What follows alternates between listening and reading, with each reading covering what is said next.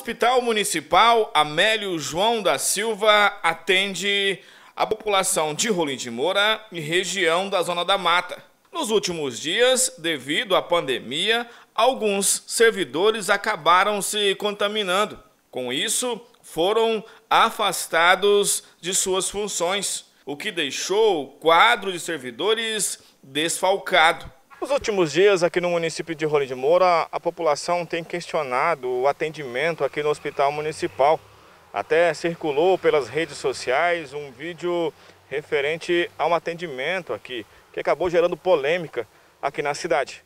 O prefeito Ado Júlio vai conversar com a gente e vai explicar realmente o que aconteceu nesse dia e o porquê na demora no atendimento aqui no hospital municipal. Vamos atrair médico para vir para cá e vamos solucionar em definitivo, o problema da saúde de Rolim de Moura, com essa contratação de novos profissionais. E dentro dessa contratação, a gente vai conseguir é, fazer uma divisão entre o hospital e UPA e funcionar a nossa UPA para poder melhorar o atendimento à população.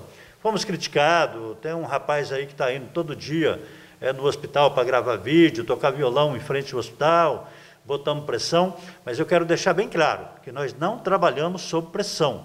Nós vamos trabalhar sob pressão para poder atender a comunidade, não pressão de, de vontades individual. O nosso objetivo aqui é atender o coletivo, é atender a sociedade num todo, e nós estamos trabalhando 16 horas por dia, e se for preciso, trabalhamos diuturnamente para poder solucionar o problema do hospital e abrir a nossa UPA. Isso é um compromisso que nós temos com a população de Rolim de Moura. Segundo o prefeito, ele não vai ficar atendendo o desejo de meia dúzia de pessoas que vieram somente para criticar. Vieram para fazer o mal, para divulgar a cidade de forma negativa é, na rede social já, nós já estamos tomando providência quanto a isso, porque o cara fez um acampamento em frente ao hospital e está o tempo todo lá perturbando, incomodando e atrapalhando nossos profissionais trabalhar. Naquele dia nós estávamos com o médico na estrada, viajando, e aí diminuiu o número de médicos no ambulatório.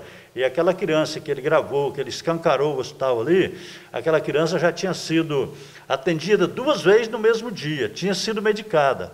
Nosso diretor foi na casa da criança, está fazendo acompanhamento e a criança passa bem. E o cara fez aquele vídeo e colocou, escrachou o nosso hospital, a nível de Estado, em uma situação negativa. Quer dizer, ele está ajudando em quê? Ele está ajudando em quê? A divulgar matérias tendenciosas, que para mim isso é matéria tendenciosa, que o atendimento foi feito, o acompanhamento está sendo feito, e eu cobro isso do diretor. Conversa com quem está no saguão do hospital e explica se nós temos três médicos em viagem, nós temos dois médicos em viagem, explica que o atendimento vai demorar um pouco mais, porque o número de profissional na emergência ficou reduzido devido ao transporte de paciente para Cacó e Porto Velho. Porque naquele dia nós tivemos problema no hospital. E isso muitas vezes o pessoal que está no saguão não sabe. Então é interessante que a direção conversa, comunica, para que aquele pessoal possa saber que o atendimento vai demorar um pouco mais.